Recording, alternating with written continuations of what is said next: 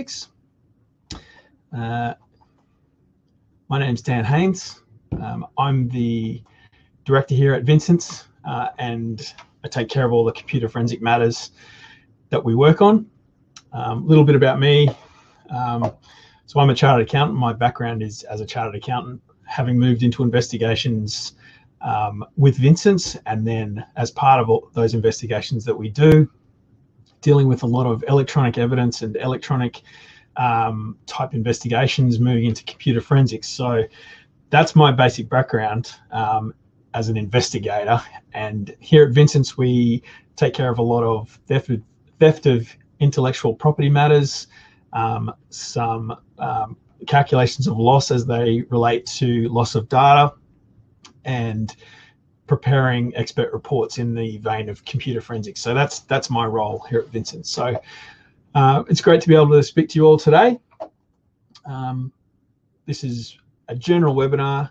My intention here is to be able to talk to clients or to people who might be um, intending to use a computer forensic expert um, and it's intended for general use. If you have any questions, any specific questions, please contact me after the webinar, or I think you might be able to post some questions as we go. So that's that's fine as well. Otherwise, I'll um, I'll move through the presentation today.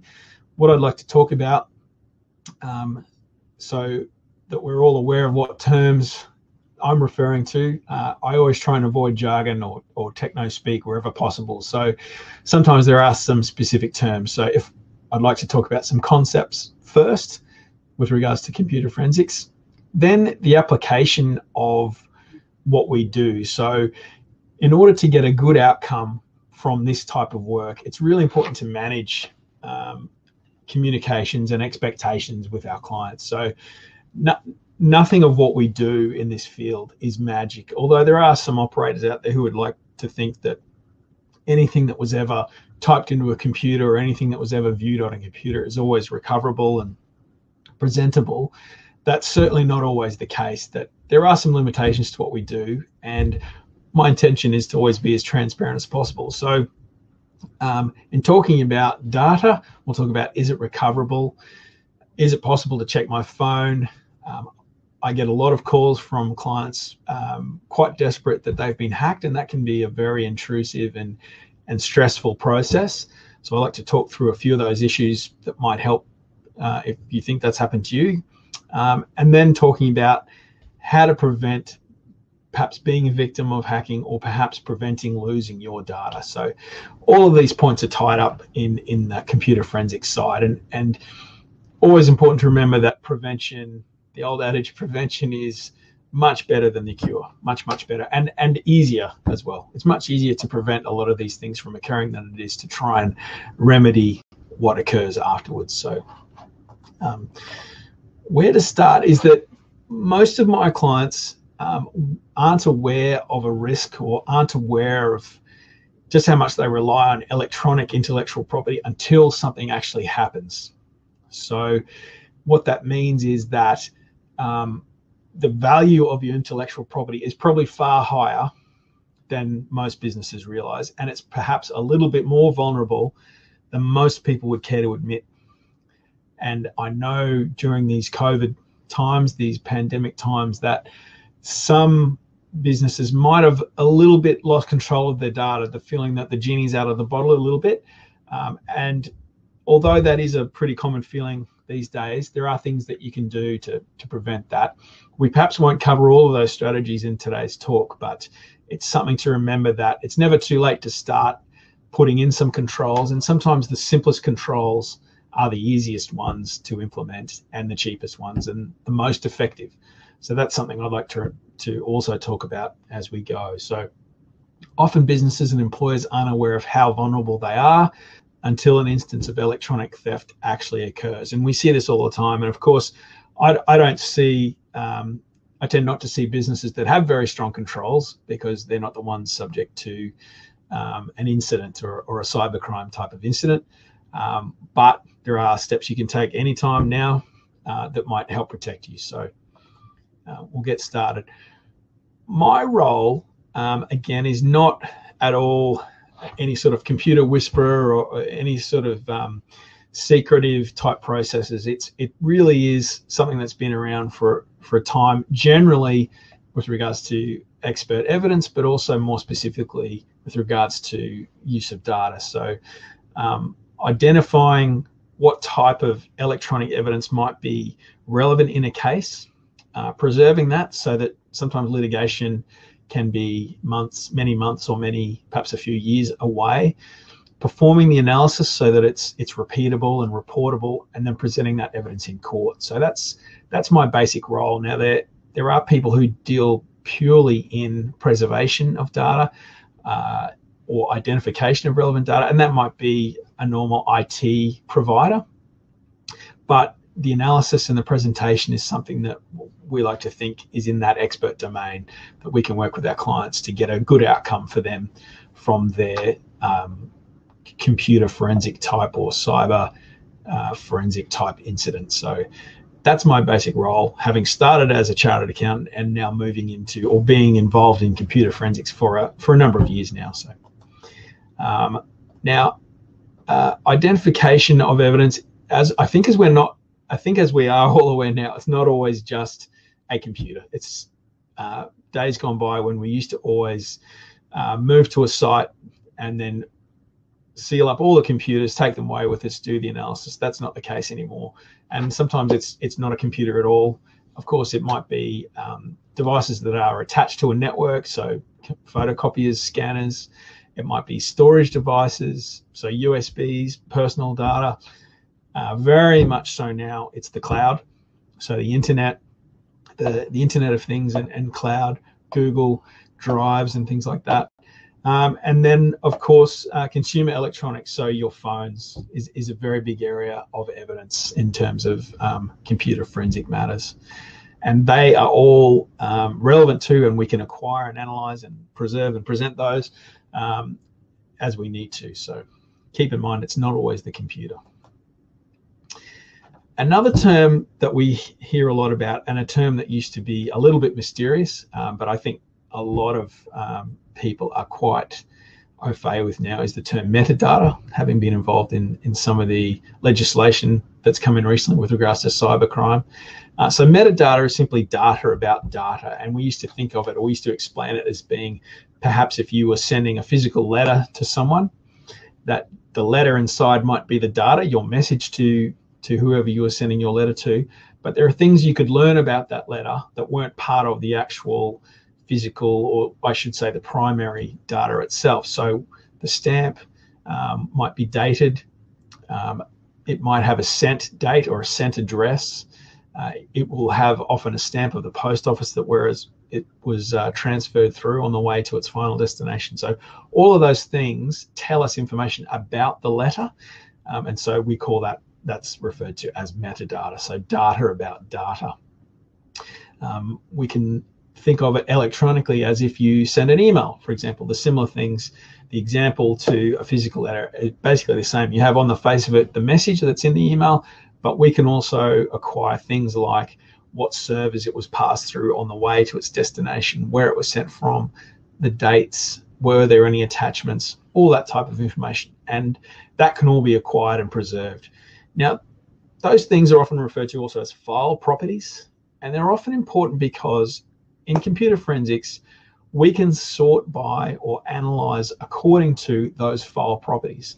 So if we're only looking for emails that were created by a certain person or perhaps deleted by a certain user or perhaps modified at a very specific date and time, we can extract documents, emails, SMS messages that correspond to that type of criteria. So we can extract that and it might refine a huge amount of information down to just a couple of, of relevant items. And that's another part of the computer forensic process is we don't want to look at every single document, every single item. We can refine it, sort it, and search for things that are relevant. And it's a really big part of what we do. And that's why we want to preserve that metadata as we find it. We don't want to leave any fingerprints at the scene. Um, and we want to make sure that it's all um, easily searchable. So that's that's metadata. So the reason we do that, we're acquiring as much evidence as we can so that we can often, if we've acquired a device, for example, that will preserve things like deleted files, and we can perhaps recover those, and they might be important to a litigation or to someone who has lost their homework or whatever the case may be, and important information can often be recovered if the process is followed at an at a industry best practice level.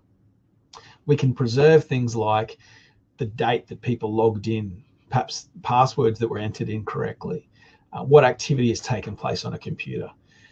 We can then repeat these findings in court, and that's all very important. So, gone are the days where an expert had to uh, reel an old, a wheel an old computer into court. Hopefully, when they turn it on, everything works, and they ask the court to review something that's on the screen of that computer. So we don't have to do that anymore. They're all very, we can preserve it, we can provide a document to the court um, and demonstrate any findings that are relevant to the court making a decision on a, on a factual basis. And that's basically computer forensics. It's not magic. Um, the data has to exist for us to generally to form an opinion. If it doesn't, then the opinion might be in a different vein. We might acquire things from elsewhere, but the basic process is is generally exactly that. We need to identify what evidence we have, preserve it so that we can uh, analyze it, and then present that evidence in court. So that's our basic process. So moving on, we can search that data very efficiently. If we have an attribute that's important, perhaps an author or pictures at a certain location, or perhaps only deleted files might be what we're interested in, uh, we can extract evidence according to that criteria because we preserved it exactly as it was when we found it, and it will always stay that way. Read only evidence. So we catch deleted, fragmented data. Sometimes it's passwords, sometimes it's activity. Different versions of documents can present themselves, which might be important. Um, changes have been made. And if there are any duplicates, is also very important. So that can all be um, born out of evidence that we acquire electronically. So it's a, it's a very efficient process. Those are the benefits that we try to bring to our clients. Because what we're acquiring and what we're producing is a perfect copy of the original. Uh, information today involves perfect copies, not like the bad old days of analog videotapes or, or photocopying information and, and it degrading every time that process happens. Uh, a perfect copy of a digital file is always going to be preserved and, and remain in state. So with that in mind, let's talk about um, is deleted data always recoverable? And I have to manage this kind of expectation with clients, and that is that they expect that being a computer forensic expert and, and that they've provided me with their computer that any file that was ever uh, stored on this machine or any activity that was ever undertaken, any website that was ever visited is going to be recoverable just straight away, easily. Now, sometimes that's the case, and they're generally the matters that I like to tell clients about in this type of presentation, but it really isn't always 100% the case. And we really don't know what we're going to find on a computer until we look. And sometimes the cost of looking and not finding is the same as looking and finding everything. So um, that's an expectation that we need to manage and something that clients need to be prepared for. So is deleted data recoverable? Well, yes and no. Um, so that's sometimes not an answer that everyone's comfortable with, but there are factors that affect whether or not we're going to be able to pull back that deleted email or that deleted file. So the best case scenario under those circumstances is a typical Windows-based PC, perhaps an older operating system even, um, that has an internal hard drive that we can analyze. And that hard drive or that computer is really used for some emails, surfing the web sometimes, writing some letters using Office.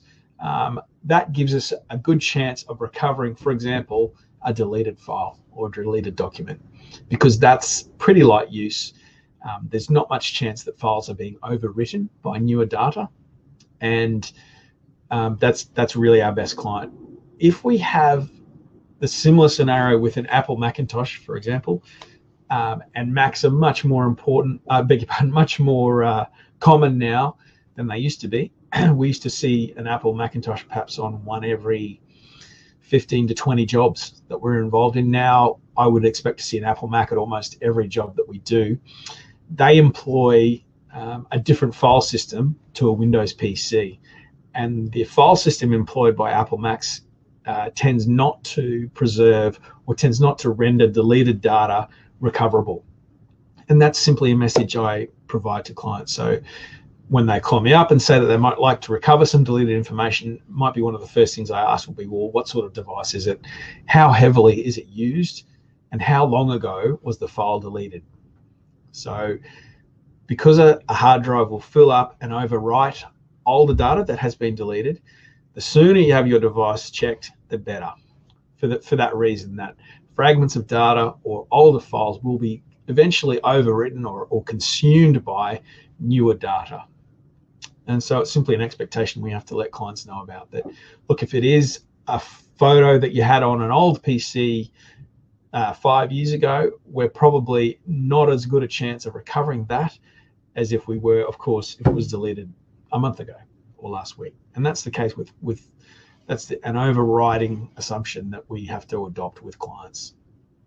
So the solution to all of these things, and you'll hear me harp on about this quite a bit, is that if you have a backup of your data, um, no matter which device it has, if it's your phone, if it's your computer, if it's a USB that you have, somehow um, store your backup securely, separately, and you can recover things from there. You won't need expensive computer forensic services. Um, you'll have that at your fingertips. So sit down, look at what data is valuable to you and what's important, whether it be personal or professional, and get a secure backup of that data. If the takeaway from today might be nothing more than that, um, do it today because we often do get clients asking us to help them, and they said, "Look, I was about to buy a new backup disk. I was it was on my list of things to do, but I never got around to it." So it is important and it's easy. Do a backup of your data. All right. So similar things. Can you check my phone for deleted SMSs uh, or for a photograph that I deleted or for some call logs? I need to verify that my former spouse agreed to certain um, agreements. Um, can you verify those from a text message that I deleted when I was angry? So yes, we can. But again, it does depend, and there are some conditions. So talk about those. So we'll need your phone for a period of time. Often it's only for a few hours. It might be in rare circumstances. If you have a very large phone, it might be more than a day or a day or more. We'll need your access code, we'll need your PIN um, to do that. Devices these days, phones I'm talking about, are much more secure than they were even a few years ago. A few years ago, we we have certain forensic tools here at Vincent's that we use, now, a few years ago, those forensic tools gave us access to almost any phone operating system hardware that you could come up with, including Apple phones.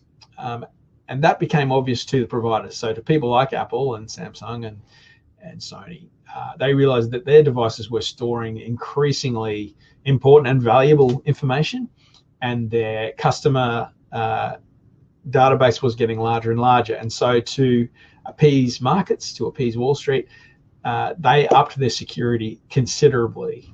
And uh, you know, speaking from experience, I can say that Apple phones are very secure um, to most people. So we can't access a phone easily without your passcode. Now, there's two takeaways from that. Put a passcode on your phone. If you don't have one, put it on there immediately, um, and you'll be way ahead of um, most people who are very vulnerable to this type of attack. So when we do an analysis, we don't put any records back onto your device. The results of any searches or extractions or recovery that we do, we'll place them on a separate USB and give it to you within a report. Usually it's a it's a PDF file with all your data in it. The reason being for that is if the more that we intervene with a a telephone or a mobile phone operating system, the more likely it is to become corrupt. So we don't interfere with that at all. We acquire all the data, do our analysis external to the phone, and then provide you with the records that you need. So sometimes we have clients saying, I just want these messages or these photos put back on my phone. We don't do that. Um, we can provide them to you separately. Um, So security of mobile devices is improving all the time, and the providers are always catching up to the most recent updates. So at the moment, we're a little bit behind forensically in terms of the latest Apple operating system or the latest Galaxy, but um, we're catching up all the time. Moving on. Now, the solution to this, I've, I've mentioned, always use a PIN. Um, if your device is the latest updated and patched, then we're much less of a chance of being able to access your data without the PIN compared to an older device that uses out of date software, which are quite vulnerable. So always use a PIN, keep it up to date. Um, if you do want things recovered, we'll ask you for that PIN. And hopefully you'll have a backup. It's very easy to back up um, these devices. They're normally connected to the internet anyway, so they'll back up through the cloud or, or to a local machine. I highly recommend that strategy of having a backup of your data, secure and separate. Next most common question we get, I've dropped my USB or at least my USB hard disk has all my photos on it. It's now not working. Can you help? Well, again, in terms of physical damage, uh, it depends. I'm so, sorry that that's the answer all the time, but most hard drives, and especially modern hard drives, which which have um, solid state disk technology, they're quite robust. Um, so we've recovered disks and we've recovered data from those disks that were fully submerged in the case of a flooded business. Um, but each case is different, and we would assess and and triage your disk as we have to. But again, it's not always the case that we'll recover everything. The best thing to do and the best way to get a good outcome from this type of physical damage is to not keep turning your device on and off and checking if it's clicking and, and shaking it, maybe banging it. Please don't do that. Um, the best thing to do is if you've established that really your device is probably physically damaged, is to leave it, take it to a data recovery specialist they can evaluate it in state and then check out the probability of, of recovery. So don't give it to your next door neighbor who says they're good at IT. If you really want a good outcome, it's not a great idea. Best thing to do is take it to a to an expert because much better chance of recovering that data if they can get to it sooner before more damage occurs. So every time you power on uh, a disk, it might be causing more damage. So really, we want to prevent that. And again, so a familiar solution here and the best defense, uh, get a backup of your data.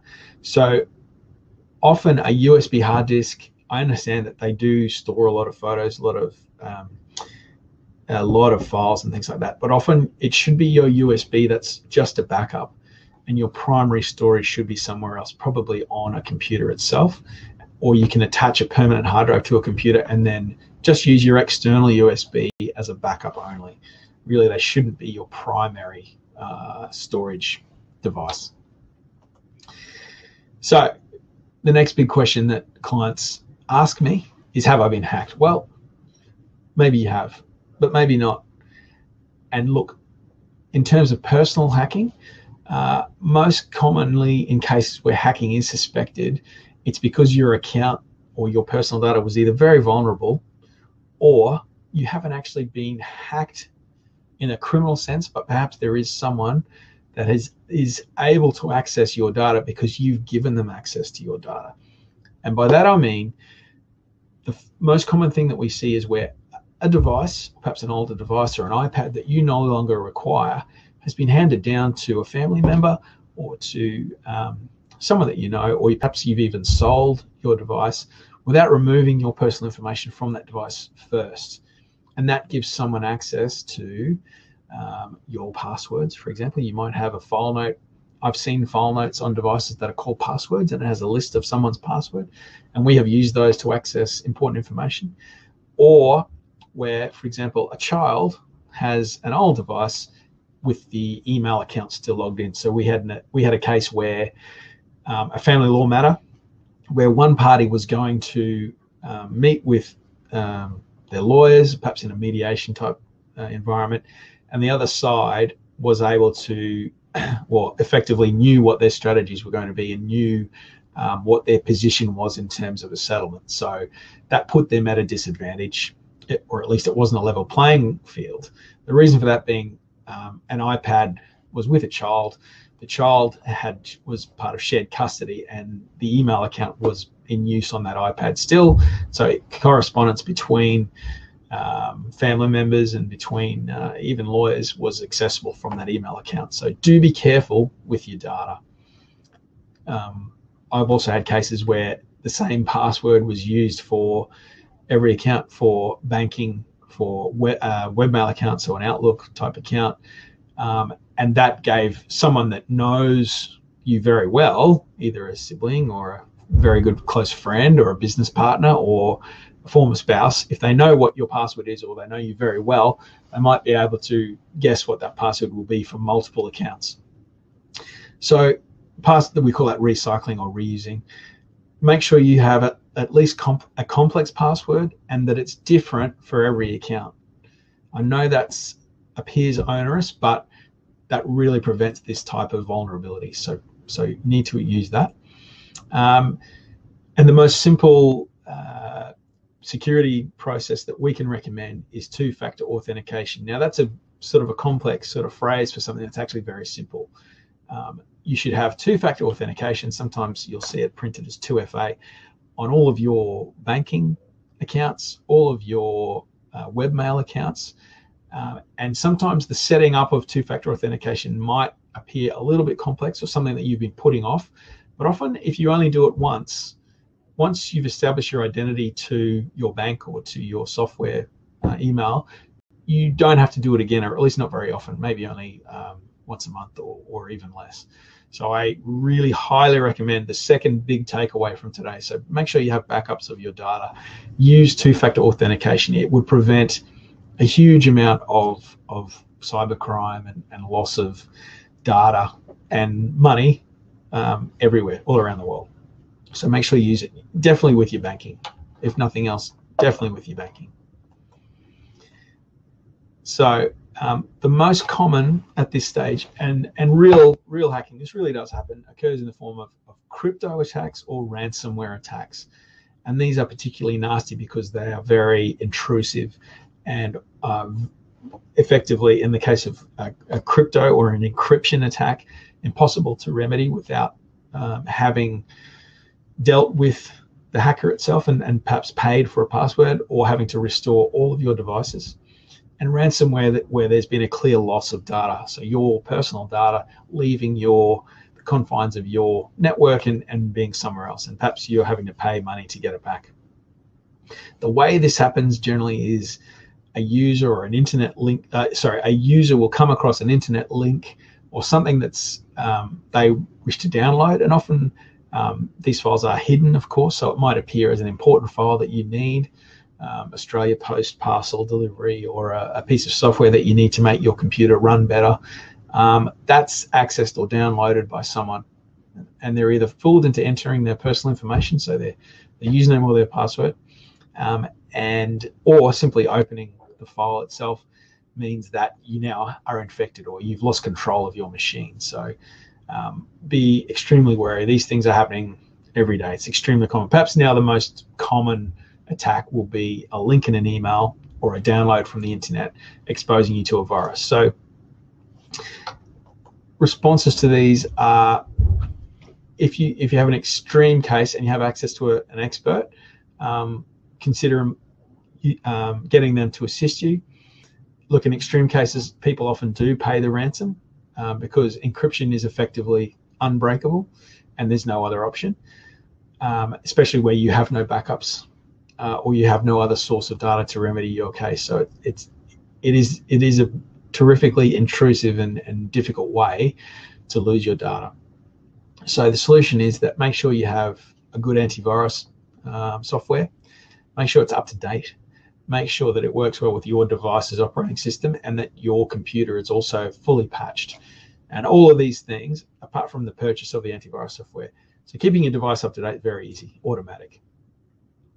So if you need to recover your data after a crypto attack, back to solution one, you have external backups that are stored separately to your main data and restoring them from there. But it is an extremely complex issue and this is the this is the primary primary case of prevention being far, far better than the cure. So I really, um, the takeaways being back up your data and use two-factor authentication. So they're they're the big things for today.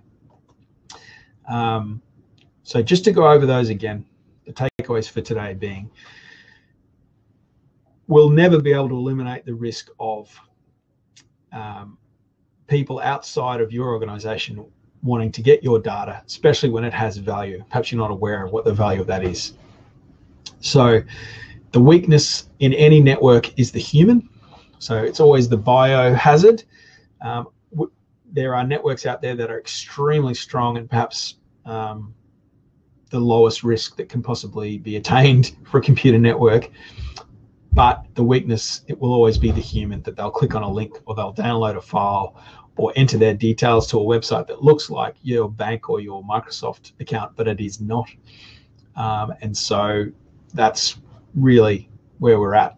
Uh, that's almost unpreventable, the human.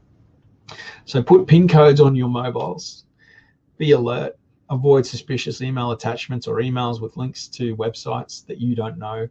You can always hover over attachments or to links and see where the actual link goes. Um, they might be trying to induce you to go to Commonwealth Bank or to Microsoft, but in fact, it's to some bizarre um, website uh, somewhere else. Um, you can always hover over and try and discover the source of that. Don't open an email or at least definitely not a link that you're not 100% certain of the source. And keep operating systems and antivirus software patched and up to date. Use complex passwords a lot of IT professionals now use a sentence as their password. So the sentence might be, I like walking through a rainy field on a hot summer's day, whatever the case might be. So a really long sentence is actually their password that they can remember. So, and they use a different sentence for every account that they have. Now that seems onerous, but um, use it's too bad. Effectively, you should have a method for doing this. Um, I use uh, a password application that stores all of my passwords securely and in an encrypted state so they can never be hacked. I just have to remember one password to access my application and then I actually log into all the websites through the application itself. I don't I don't use it as an inbuilt browser. I don't use uh, Chrome or, or Edge or anything like that. I use the application that I have that stores my passwords. It's called a password manager application. There's there's quite a few of these around now. It will generate and store passwords for you, and they're unique to each site. So I highly recommend a password manager. Take advantage of two-factor authentication. It's uh, probably one of the most important things that we can do. So um, it's a code generated either by an app or um, a separate email to a separate source, usually to your phone, but it can send you an email to a separate uh, account it will then provide you with a code that unless you have that verified device in your hand or that verified email account, then that's the only way to access the service, internet banking or email, whatever the case may be. Um, so that would prevent 95% of the hacking that I see at my practice here at Vincent's. So it's very simple. Um, and often the people that are hacked simply the ones that didn't have two-factor authentication. Um, it's really important and it's so simple, works great, it's easy to use, and I highly recommend it to everyone watching today. Um, so the final thoughts are, and before we finish off, thank you everyone for staying with us. Um, there's a reason that these issues sound repetitive, and that is that these are the things that work. They're simple, they work, they're generally um, low cost, but highly effective. So keep your device up to date, have antivirus, keep passwords secure, don't reuse passwords for different devices and different accounts wherever you can. Use unique passwords. If in doubt, don't click on links or files that you don't trust. If it's too good to be true, of course, it is too good. It is not true. If it's too good to be true, it can't be true. Um, seek advice from a professional if you really do need data recovery. Be prepared for the worst. If you don't back up your data, install your backup securely. And if you don't have two factor authentication, you're very vulnerable to attack. So they're the messages for today. Uh, really appreciate everyone listening. Um, I'm Dan Haynes, all the forensic technology matters here at Vincent's. I'll be pleased to talk to anyone about that. Um, if there's any uh, any um, questions that I've missed, please feel free to send them through. My details are on the on the Vincent's website. Um, I hope today was useful, and uh, thanks for listening. Much appreciated. Thanks.